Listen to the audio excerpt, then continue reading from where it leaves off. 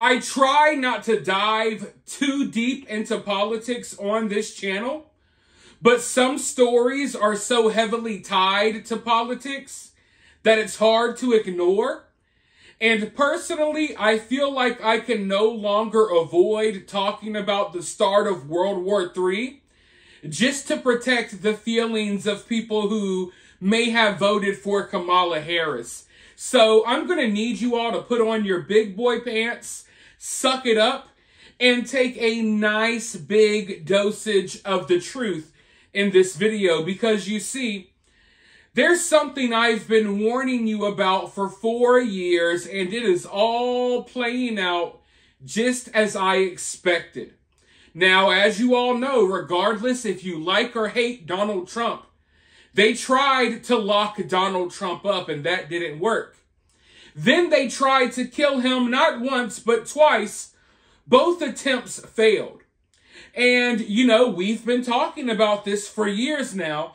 I've warned you all about this, that if Donald Trump won the election, they would purposely throw our country into turmoil just to make him look bad. And that is exactly what is happening.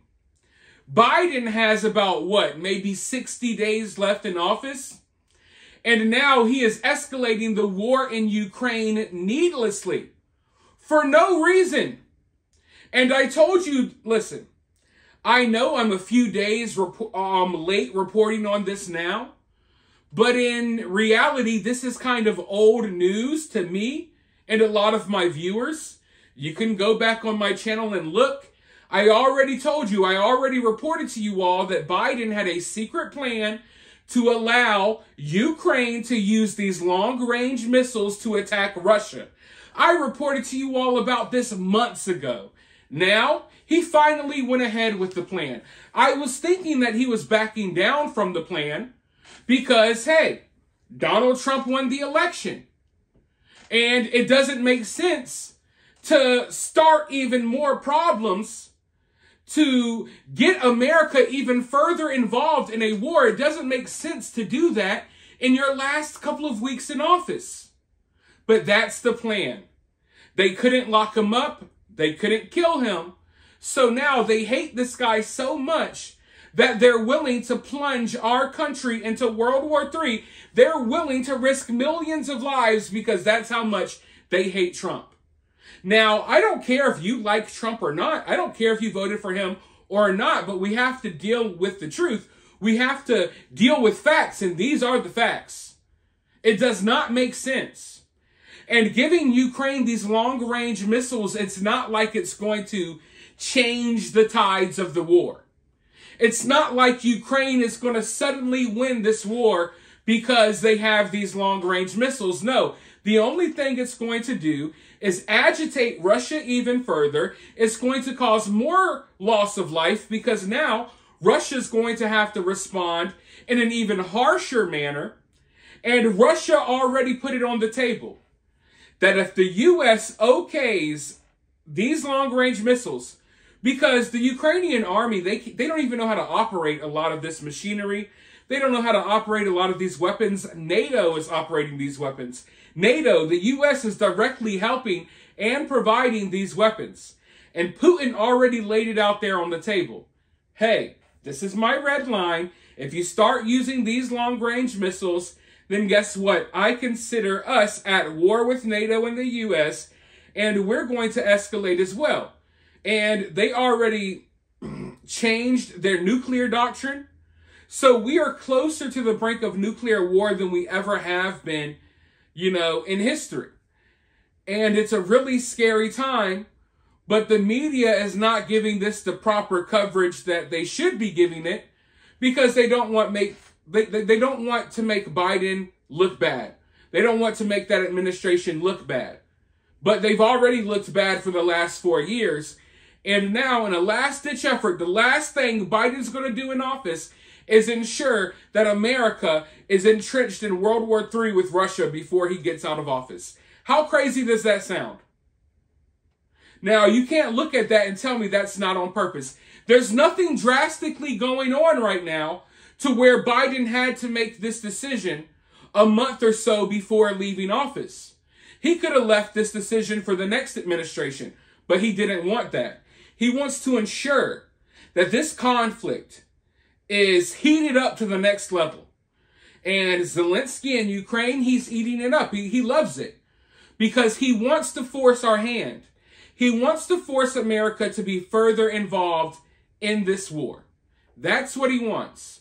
But before I go any further, because listen, I got a lot to say about this topic, and I've been biting my tongue for days now, I'm going to roll this news clip and then I'll be right back with more. Turning to Ukraine in a major change of U.S. policy and a reversal of his prior position, President Biden is now allowing Ukraine to use a powerful U.S. missile system inside of Russia for the first time. In April, the U.S. sent the Army tactical missile system to Ukraine after Russian forces crossed the border. Well, since August, Ukrainian leaders have been asking for permission to use the supersonic missile system. In September, Russian President Vladimir Putin called it a red line. But now President Biden is giving Ukraine the green light. News Nation's Alina Shirazi live for us at the White House tonight with how these missiles work and reaction from Ukrainian President uh, Volodymyr Zelensky tonight. Alina. Natasha, good evening. We know that for the first time, President Biden, as you mentioned, did give Ukraine the green light to use American made long range missile systems to strike targets inside of Russia. We know this is certainly a bold move for President Biden and could further complicate Russia's war with Ukraine, with the president elect Trump set to take office in just 64 days from today. Uh, we did hear President Biden speak today from Brazil, but he did not address his authorization and use of U.S. missiles by Ukraine in Russia. We know the announcement comes one day after Biden met with the Chinese president at the APEC summit in Peru.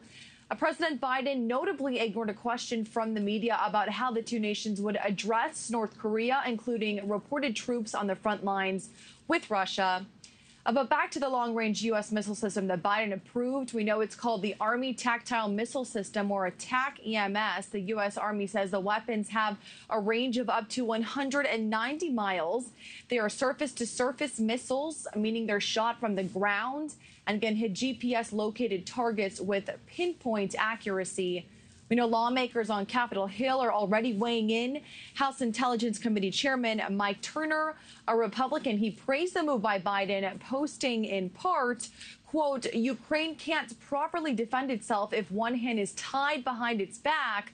Today's news that the Biden administration is finally allowing Ukraine to use some U.S. provided ATACMS to strike limited targets within Russian territory is long overdue.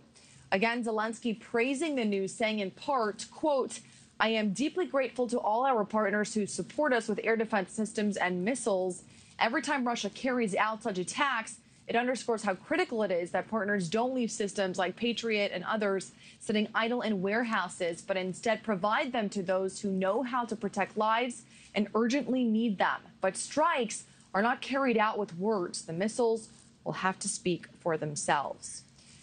And News Nation previously reported that the White House also wants to send an additional $9 billion in military aid to Ukraine before President elect Trump's inauguration on January 20th. We know the United States has already sent more than $64 billion in total of aid to Ukraine since the conflict first started. This Wednesday marks a thousand days, we know, in this conflict, Natasha. All right. Ladies and gentlemen, this should be considered a crime against humanity. Biden and everyone involved, I don't even want to say Biden because he's not the one making these decisions. The people making these decisions need to be held accountable because America didn't vote for this. In fact, America voted for the exact opposite. We voted for no wars. We voted to stop dealing with the issues in Ukraine. We voted to stop interfering in all of these foreign affairs. We voted for America first. We voted to keep America out of World War III. And Biden is going against America right now, going against the majority of voters in America. And he's purposely, or, or whoever's pulling the strings, they're purposely trying to thrust us in this conflict. And then they're going to point towards Donald Trump and say it's Donald Trump's fault. When he's the one, the only one that's been talking about peace solutions. He's already been on the phone with Putin. He's already been on the phone with Zelensky. I'm not saying that, you know, he could stop the war overnight like he says. I don't necessarily believe that. but he definitely will do a better job than what Biden is doing. And we could find some type of resolution for this conflict because that's what we need to do. We don't need this to involve every country in the world. We don't need an entire world war because of Ukraine. I don't give a damn about Ukraine at all. But I want to be clear here. I'm not picking sides in this conflict. And I would never pick Russia over the US. Of course not. But we're being fed a whole lot of lies about this conflict. And at first, I was very scared about what Putin may do. I was scared about what Putin may do at first. And still to this day, I mean, you never know what these people are capable of, right? But I think it's clear that Putin doesn't have the ambitions that NATO accuses him of having. Because we could sit here and we could talk about the war in Ukraine all day. And you could take the Ukraine side and you could think it's cool that we're supplying them with this and that. Listen, if Russia wanted to wipe Ukraine off the map, they could have a long time ago. If Russia really wanted to dominate Ukraine, if they wanted a decisive victory, they could have ended this war a long time ago, folks. That's the reality of the situation. It's a reality that a lot of people are going to have to find out the hard way. In fact, people already are. Because, you know, they authorized Ukraine to use these long range missiles. And Russia said, hey, if you do that, nuclear war is on the table. But they haven't dropped any nukes yet, but they did send a warning. And boy, oh boy, was it horrific. Look at this video. Look at this. This was Russia's response.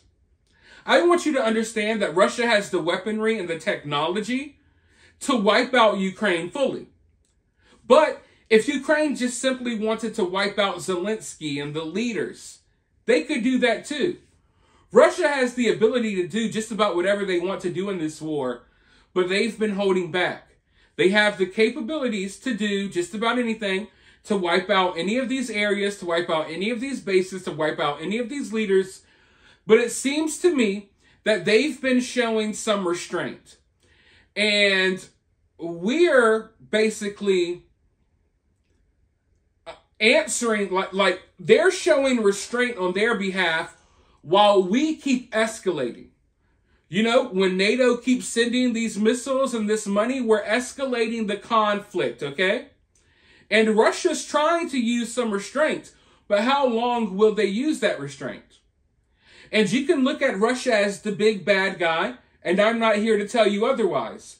But if the shoe is on the other foot, and let's say Russia was sending Mexico missiles to fire at American cities, how do you think we would respond? Really think about that. If Russia sent long range missiles to Mexico and gave Mexico the go ahead to use these missiles against American people, and you had missiles shooting from Mexico blowing up portions of New York City, Connecticut, Texas, California, how do you think we would respond? How would you respond? That's what's happening right now. I feel like we continue to poke the bear and we look around like, hey, look, they're not going to do anything. It's all bluffs. Listen, everyone's bluffing until the bluffing is over. And once the bluffing is over, the bluffing is over and nothing can reverse it. So I think that we need to look for peaceful solutions as opposed to finding more weapons and more things to give Ukraine to needlessly fire at Russia for no reason because at the end of the day, Ukraine never had a chance at winning this war. They do not. If you think they do, you're absolutely delusional and you have no idea what Russia has at their disposal. But for now, you guys can let me know what you think about this below. While you're down there, hit that thumbs up, hit that subscribe, ring that notification bell, and I'll talk to you all very soon in the next one.